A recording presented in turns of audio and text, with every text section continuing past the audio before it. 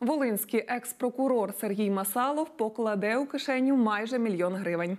Таку велику суму відсудив у державного господарства 1 травня. Мовляв, йому вже як підприємцю не доплатили за ремонт адмінприміщення. Договір укладали на понад мільйон і 600 тисяч гривень. Причому з порушеннями це вже визнано. Але прихильність Феміди саме на стороні екс-прокурора. Судяться й досі.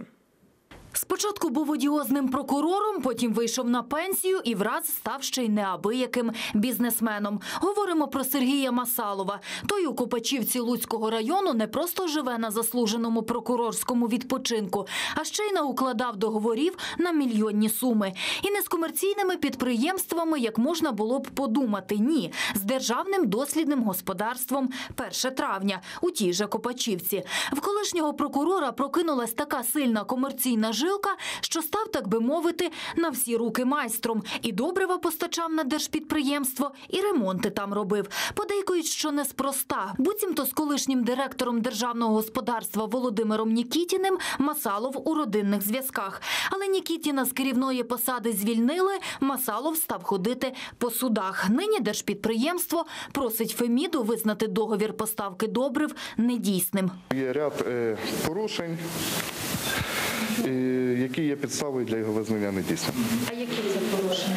Е, Зокрема, це непогодження попереднім керівництвом е, договору купівлі-продажу з е, органом управління. Оскільки це є державне підприємство, є певна процедура погодження таких договорів. А які там суми фігурують в тих договорах поставки? Е, Більше трьох мільйонів гривень.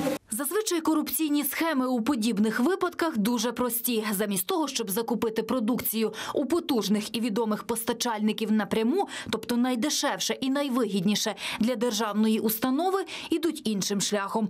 Використовують такого собі підприємця прокладку, посередника. Той купує продукцію, приклеює собі кілька сотень тисяч гривень і тягне з державного підприємства неабиякі суми. Чи є договір Масалова дійсним і законним, то вже вирішуватиме суд. Цікаво інше, суд між експрокурором і дослідним господарством 1 травня вже не вперше. Не так давно Сергій Масалов хотів стягнути з держгосподарства близько мільйона гривень. Мовляв, йому не доплатили усе через ремонт адмінприміщення. Колишній директор 1 травня Нікітін уклав з Масаловим договір на капітальний ремонт. Сума неабияка понад мільйон і 600 тисяч гривень. За ці гроші підприємливий експрокурор спромігся відремонтувати аж п'ять кабінетів, коридор та вбиральню. Адмінбудівля суду, бачите, от ремонт. Там кращий ремонт, як тут. Там ну, стіни, е, підлога, е, стеля, заміна вікон, дверей. Все це замінено на нове. Якщо вірити договору, усе це мало би вартувати понад мільйон 600 тисяч гривень, а це 10% від усіх активів державного господарства. Договір на таку суму мали би погоджувати з Національною академією аграрних наук України, якій і належить господарство. Але цього ніхто не робив. Колишній директор жонглював державними грошима, так би мовити, самоправно, вочевидь, в обхід закону. Більше того, згодом ревізійна комісія встановила такі понадмільйонні домовленості з Масаловим у фінансових планах держгосподарства передбачені не були. Зміни до фінпланів теж не вносили. Тож суддя господарського суду Волині Оксана Слободян визнала договір капітального ремонту між держгосподарством і підприємцем Масаловим недійсний.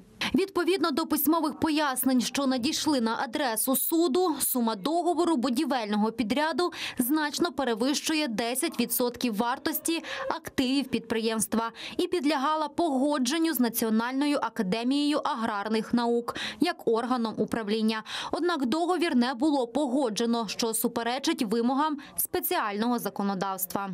Те, що відбулося згодом, виглядає немислимо. Вже інший суддя, але голова того ж таки господарського суду Микола Шум, схоже, приймає кардинально інше рішення.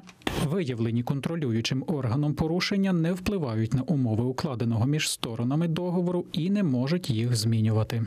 Суддя вирішив стягнути з держпідприємства майже мільйон гривень і віддати їх Сергію Масалову. Це попри те, що договір між ними визнано недійсним. Чому закон, здавалось би, один для всіх, а рішення такі різні? Можливо, експрокурор просто дуже фартовий? Олена Лищук, В'ячеслав Марушко. Для новин на часі.